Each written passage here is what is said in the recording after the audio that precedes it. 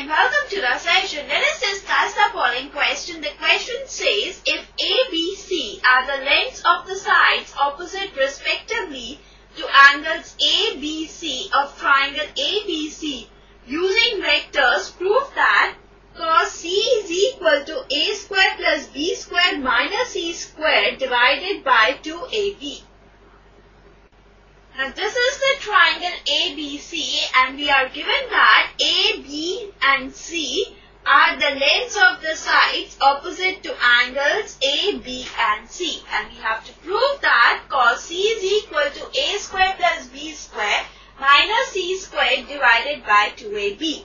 Let's now begin with the solution.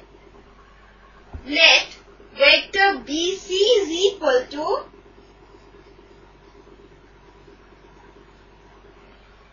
vector A, vector CA is equal to vector B, and vector AB is equal to vector C.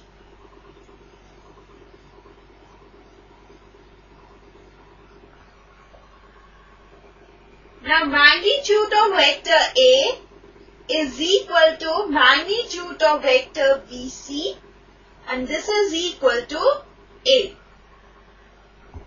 Magnitude of vector B is equal to magnitude of vector CA and this is equal to B. Similarly, magnitude of vector AB is equal to magnitude of vector C and this is equal to C.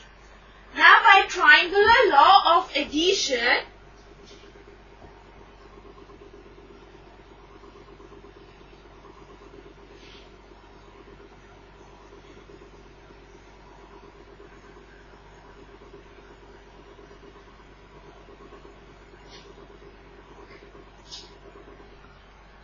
vector BC plus vector CA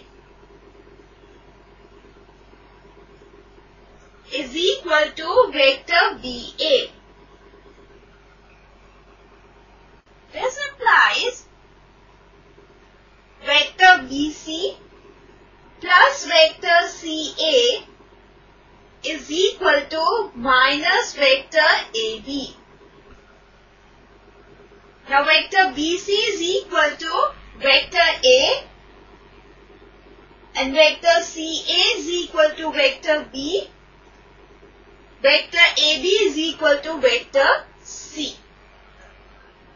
Now this implies vector A plus vector B dot vector A plus vector B is equal to minus vector C dot minus vector C.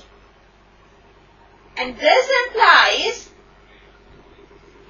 vector A plus vector B dot vector A plus vector B is equal to vector C dot vector C. And this implies square of magnitude of vector A plus vector B is equal to square of magnitude of vector C. This implies square of magnitude of vector A plus square of magnitude of vector B plus 2 into vector A dot vector B is equal to square of magnitude of vector C. This implies square of magnitude of vector A plus square of magnitude of vector B plus 2 into magnitude of vector A into magnitude of vector B into cos pi minus C we have written this by using that fact vector A dot vector B is equal to magnitude of vector A into magnitude of vector B into cos theta. And this is equal to square of magnitude of vector C. Now this implies square minus 2ab cos c is equal to c square and this implies cos c is equal to a square plus b square minus c square divided by 2ab. Hence we prove that